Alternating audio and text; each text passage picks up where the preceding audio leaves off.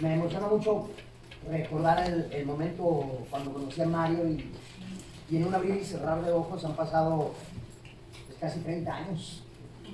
Y, ya habíamos salido de la escuela, o sea que la vida se pasa. Impresión. Y qué, qué hermoso cuando algo como lo que han plasmado aquí entre todo este gran equipo nace de, del corazón, del contacto con los seres que se nos van, que se nos adelantan. Y pues se necesita un riesgo muy fuerte para, para tener el aplomo de, de pararse aquí a, a conectar con eso. Y saben que, que tienen todo mi amor desde hace muchos años y ahora no solo ustedes, sino toda esta compañía.